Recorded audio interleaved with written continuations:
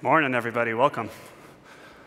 All right, I want to tell you today about Pivotal and our mission to transform how the world builds software. Now, there, there's something really cool about software, right? It's, it's very different from, say, building bridges. Uh, when you build a bridge, you have to spend a lot of time thinking about it, and a lot of time building it before it's ready to share with the world. What does that mean? Well, you can make a plot to understand what that means. You know, as a function of time, you can look at cost. So when you're thinking about it, you're spending some money paying the people who think about it, but you're not spending too much. But then you start building it, and the costs skyrocket. And then you have to maintain it. Makes sense. But what about value? When does a bridge become valuable? Not here. It's only valuable when it's actually done and ready for the world to use. That's scary. That delta right there, that's risk. And because the risk is so high, because these projects are so expensive, we invest a lot in risk mitigation. Now, good risk mitigation looks like getting feedback on your design early. And if you do this well, you end up in a place where you've delivered something that the world likes. Let me give you an example from Dubai, where I grew up. So Dubai's built a lot of crazy things, things that the world loves. World's tallest building, world loves it. Massive shopping malls, indoor ski slopes, visible from the food court, world loves it. But it doesn't always work out this way. Sometimes, despite all your effort, you build something that's actually low value. Here we go again, back to Dubai. Massive artificial archipelago of islands in the shape of the Earth, $2 billion to construct. Whoa. Eight years later, completely barren, massive archipelago of islands. Turns out nobody wants to live on one of these very expensive things. That's not great. That's a failure of risk mitigation and a terrible outcome. Now, thankfully, software is not like bridge building. Software has two glorious properties. First, there's low cost to change, and second is low cost to distribute.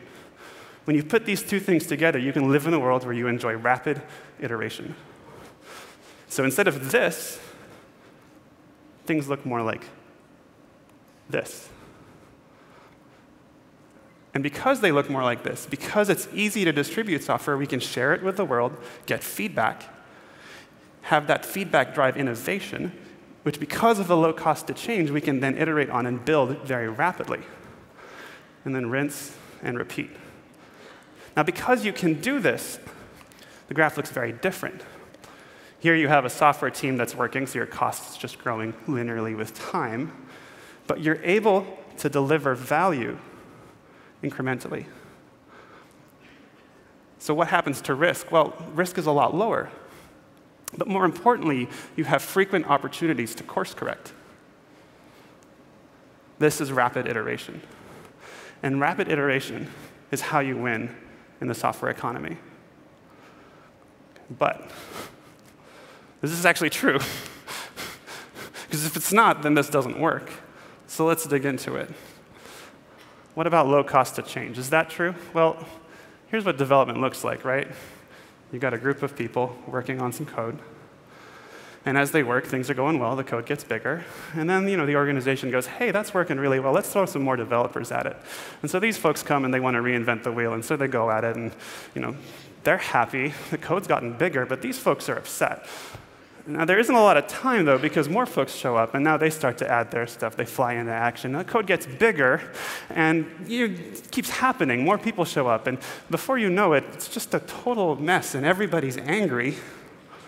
And then they break into factions, and they start pulling and tugging on this thing, and it's just, it's just stuck. It's stuck in this world mired with complexity, wheels being reinvented, competing directions, miscommunication, conflict. I'm exaggerating, obviously, but this is, in a nutshell, the problem with the monolith. And when you live in that world, you don't have this, you have this. So it's not actually low cost to change. Well, what about low cost to distribute? Well, again, there, let's think about the developer, right? The developer loves their software. And because they love it, they want to give it to the world. So to give it to the world, they have to grab a computer, take their software and a roll of duct tape, attach it to the computer, grab an operating system, attach that to the computer, grab all the dependencies that their software depends on, put those on the computer too, And then to give it to the world, they actually have to plug it into the internet. And then they're done. They've succeeded. But production is hard. And like all hard things, you generally only notice at night when you're fast asleep. And now your app is just, just the world loves it and the server goes down. And thankfully, you set up your alerts, and so you wake up and your hair's on fire, and so you grab a couple of computers, and then you remember, oh crap, I have to do the duct tape thing, and so you start duct taping frantically, hoping, hoping that maybe if you just connect it to the internet fast enough, put out the fire, it'll be good. And you go back to sleep. Maybe you sleep in that day because it's been long and you've missed the news that happens that morning that heartbleeds occurred and now all of your servers are impacted and you wake up and oh God, Instead of focusing on the software that you love, you're heartbroken. So a lot of organizations solve this, right, by having this new role, the operator. And the operator is responsible for the machines. They love their machines, and so they take care of them. But what this does, right, is it creates a new problem. It creates a people problem. Now there's this people barrier between the software and the machines. And now people are angry, and you're both sad and angry. So that's no good. So instead of living in this world, you end up living in this world. Heartbreaking. You want to share your software with the world, and it's hard. Combine these two, and you have high cost of change and high cost of distribution. And so instead of living in this world of rapid iteration, you live in this world of painfully slow iteration, where the risk is all of a sudden really high. It's hard to course correct, and the odds of you delivering something of low value go up. that sucks. Because building software should not be like building bridges. We know that. So here's where Pivotal comes in. With our mission to transform how the world builds software, what we want to do is provide technologies and practices that transform the bridge building culture into this agile software building culture. So let's look at this monolith problem. What do we do there? Well, we have Spring, and the vast Spring ecosystem. That means you don't have to worry about inventing tires. And the whole thing is just beautifully consistent. And so you have a nice, consistent programming model that cleans the mess up. But the best part is with Spring Boot and Spring Cloud, powered by Netflix OSS, you can take that monolith and break it up into microservices. And the developers rejoice because now they can have what they want. They can be small teams of developers working on independent code bases separated by nice and clean interfaces.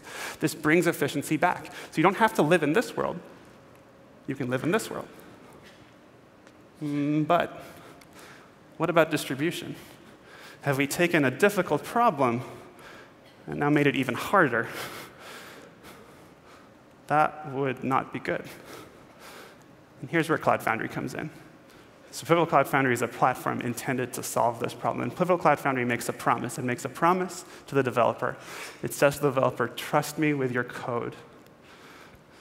Take your code. I'll find the dependencies for you. I'll package it up in what we call a droplet and run it in a container for you. And I'll route it to the internet. You don't have to think about it. We'll take care of it. And when it's popular and maybe starting to give in to the pressure, don't worry about it. Leave the fire hydrant at home. No need to fret. Simple command will scale you right up, and you'll be back in business. And when there's a security vulnerability that impacts the operating system, don't worry about it. Pivotal commits to shipping a fix, and with a simple downtimeless rolling deploy, you're back in business. Developer doesn't have to do anything. So they don't have to choose between the software they love and fighting fires. It's all about what they love. And we make a similar promise. Sorry. Uh, we, have a, we, have a, we have a little haiku that captures this, this sentiment. Um, what we promise the developer is that they can say this Here's my source code. Run it on the cloud for me. I do not care how. Now we make a, a, similar promise to the operator. It goes something like this Here are my servers, go make them a Cloud Foundry. I, I don't care how. And what Cloud Foundry allows us to do is to get rid of this barrier and live in a world where the developer can just bring their code, makes the developer happy, makes the operator happy. And so we go from this to this. And that's the power of Spring and Cloud Foundry combined. But there's more. Um, sorry, this gives you rapid iteration, but there's more. Pivotal is more than the sum of Cloud Foundry and Spring. Um, to, explain this, I want to zoom in on this little picture. I want to talk about uh, this thing that we call the circle of code. Um, you see, all code begins with an idea. When you take that idea and you, you form a plan, and you go from that plan, you write some code, you run that code through your integration pipelines, and then you deploy it to the machine. And then you gather feedback. And based on that feedback, you come up with new ideas. I've talked about Spring being the best way to write that code. I've talked about Cloud Foundry being the best platform to run that code. Pivotal also has Tracker, the best tool to plan for that code. We have Concourse, which we're going to be releasing as part of Cloud Foundry. Powerful, powerful CI build system. And we have PCF metrics and our big data suite for analyzing your application once it's up and running. We have all of these things, and we're working to bring them closer together because we know that our customers win when they can go around the circle very efficiently. But this isn't just a technology problem, it's also a culture problem. How do you actually build an organization that's geared towards going around this as quickly as possible? And for that, Pivotal has its consulting program, Pivotal Labs, where we're teaching a development process that enables rapid iteration. There's a lot that I can say about labs, but I want to talk about a few. Uh, um, I could talk about pair programming. I could talk about test-driven development. I could talk about small, balanced teams. I don't have time to talk about all those things, so I'm going to focus on pair programming. So pair programming is kind of crazy if you've not experienced it. It's literally one machine with two developers working on that same machine, constantly communicating and collaborating as they co-develop software. This is very different from what you see in most places, a cubicle farm with individuals working on their machines solo. Now, when you're working solo, it's much easier to be distracted. When you're pairing, it's kind of awkward to be on your phone. It's a lot less distraction. This makes for productive developers. We tend to think that happy developers are productive developers, but as Rob Mee, our CEO, likes to remind me all the time, it's actually the reverse. Productive developers are happy developers, and with pairing, we allow people to be productive. Now, there's more, right? There's, there's serious organizational risks when you have individuals going off and writing all the code, right? We, I, I, call this cowboys, right? They're like, I'm awesome. I got this. I'm going to kill this. It's going to be great. Don't worry about it. I got it. So all the other developers kind of going, uh, what, are you, what are you doing? And invariably, this person leaves, and this person's left holding the bag. And that's actually very dangerous. And it brings a halt to rapid iteration because no one knows that code, no one can change it. With pair programming, we have constant collaboration. And then there's miscommunication, right? When you're not talking, well, you know, you piss each other off, and now you're at each other, and the whole office is just fighting. pair programming, we have constant communication. People are always at least trying to be on the same page. And when you're on your own, you get stuck, and sometimes not even Google can help. With pairing, you have a friend who can help get you unstuck.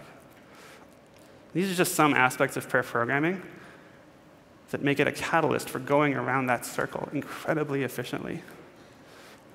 And that's Pivotal Labs. It takes rapid iteration and turns it into something that looks more like this continuous iteration. And so you go from this picture, which was already pretty good, to something that looks like this constantly, continuously delivering value, very little risk, constant feedback, and you're always shipping. And that's the power of Pivotal Cloud Foundry, Spring, and Pivotal Labs. It's how we're transforming how the world builds software, and we love it. All right, thanks, y'all.